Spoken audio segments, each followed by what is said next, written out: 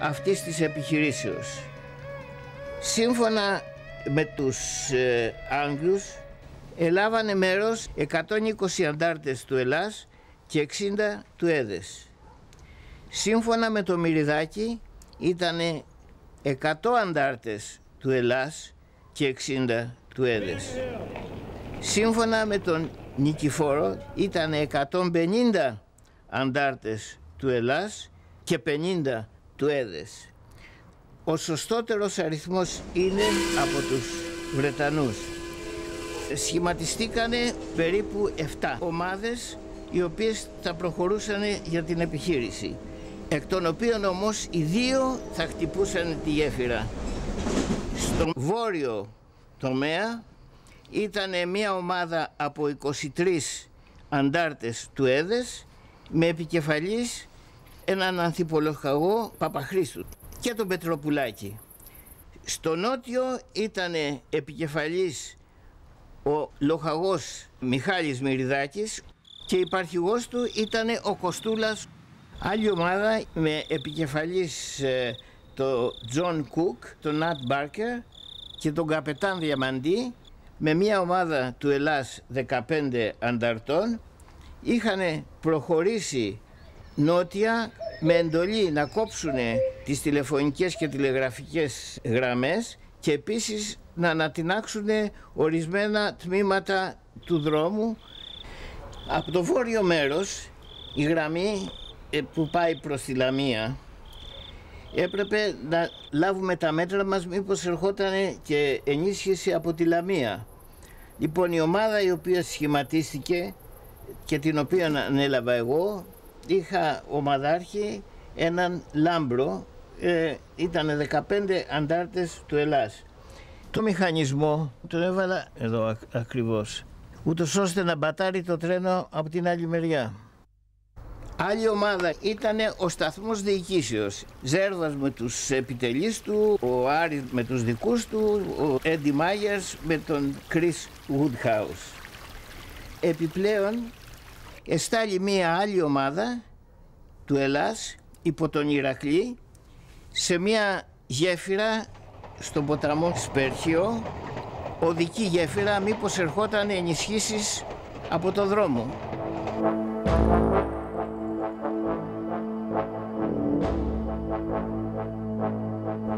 Ξεκινήσαμε με πολύ άσχημο καιρό. Έπεφτε χιόνι και φυσούσε αέρας. Όταν μάλιστα ήταν να περάσουμε ένα διάσελο του όρους Ήτη ήταν φοβερή χιονοθύελα. Κατεβαίναμε σε μονή γραμμή και ακολουθούσαν επίσης και καμιά εικοσαριά μουλάρια με τα διάφορα υλικά.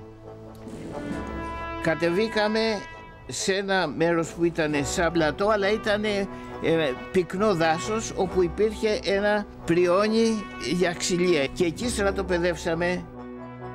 Ξαφνικά έπιασε φωτιά δίπλα μας στο δάσος και εκεί υπήρχαν και τα εκρηκτικά. Δηλαδή εάν δεν προλαβαίναμε να τις σβήσουμε πέσαμε όλοι απάνω για να τις σβήσουμε θα γινόταν καταστροφή και δεν θα υπήρχε και επιχείρηση γοργοποτάμου.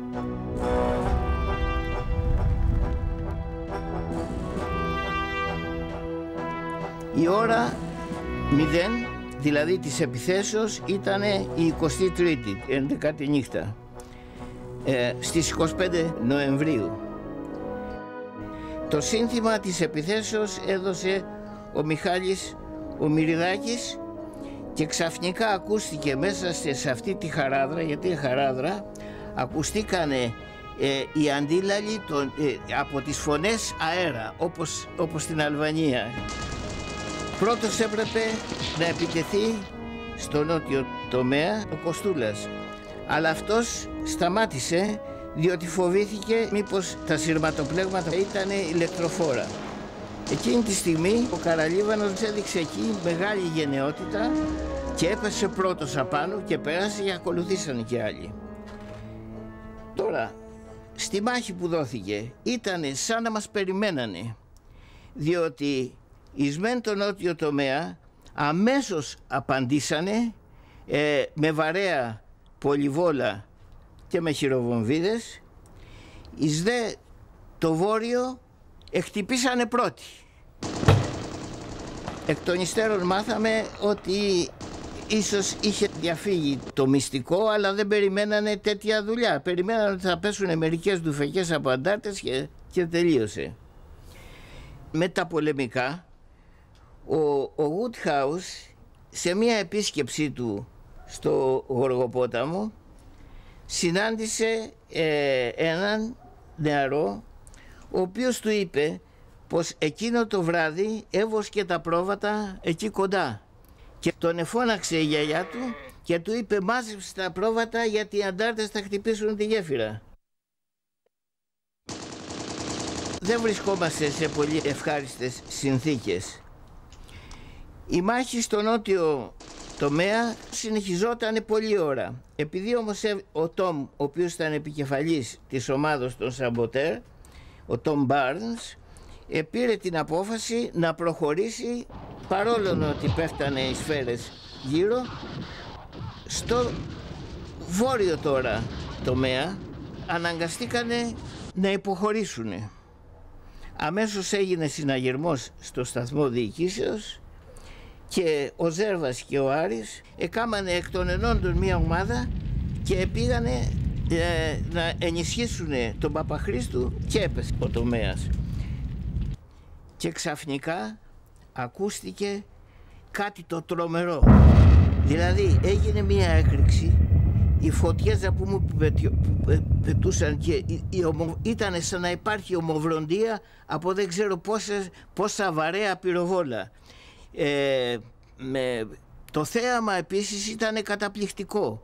Τεράστια κομμάτια από, ε, από ατσάλι στον αέρα φλεγόμενα να πηγαίνουν παντού. Ήταν, και, φάνηκε, και ήταν σαν να γίνεται σεισμός. Εν πάση περιπτώσει είναι κάτι το οποίο ποτέ κανείς δεν μπορεί να ξεχάσει.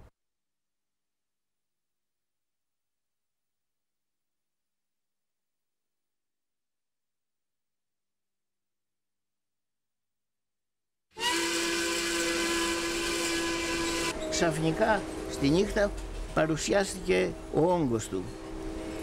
Επάτησε το μηχανισμό που είχα βάλει, αναπήδησε το τρένο αλλά δεν εκτροχιάστηκε. Με την ε, ανατείναξη του μηχανισμού ακούστηκε η φωνή του μηχανοδηγού, ο οποίος ήταν Έλληνας, ε, βέβαια, και ελληνικά τα είπε. Και λέει, Έλληνες με φάγατε. Οι Ιταλοί αρχίσαν να πηδάνε έξω από το τρένο και να ανταποδίδουν τα πυρά. Και εκείνο που συνέβη είναι χωρίς ούτε καν να μου αναφέρει ο Λάμπρος απέσυρε όλους τους αντάρτες του, ήταν σκοτάδι και δεν μπορούσες να δεις τίποτα και έμεινα σε ένα σημείο που αποτρίχα να με πιάσουν οι Ιταλοί όπως ήμουνα. Ενώ έπρεπε τουλάχιστον να μου το πει. Αυτό είναι το σύστημα γενικά αυτών των ομάδων. Ε, εγώ θα έλεγα και ας κατηγορηθώ ας πω, οπωσδήποτε το, το σύστημα του Ελλάς να χτυπάει και να φεύγει. Με την πρώτη τη μεγάλη ανατείναξη κατεστράφει αυτός ο πύργος και έπεσε το τόξο κάτω χωρίς να σπάσει. Το απάνω μέρος βεβαίως διαλύθηκε έσπευσε ο Τόμ και ο Έντι Μάγερς και κρίνανε ότι είναι ανάγκη να γίνει και δεύτερη ανατείναξη η γέφυρα έπρεπε να μην μπορεί να ε, επισκευαστεί για διάστημα έξι εβδομάδων. Στη δεύτερη ανατείναξη έγινε πραγματική καταστροφή και είδαμε τρεις πράσινες φωτοβολίδες που έριξε ο Ζέρβας από το σταθμό διοικήσεως που ήταν το σύνθημα της αποχωρήσεως. Είχαμε δύο τραυματίες ελαφρά, ο Ζαγκαβιέρος που ήταν με τους ε, Σαμποτέρ και ο άλλος ήταν ο Παπαχρίστου ε, κατά τη μάχη. Ε, πήραμε και έναν εχμάλωτο. Ήταν ο πολυβολητής ο οποίος ήταν έτσι μέσα στο οχυρό του που δεν μπορούσε να φύγει από την πλευρά των Ιταλών είχαν αρκετούς νεκρούς και πολλούς τραυματίες. Οι υπόλοιποι το βάλανε στα πόδια.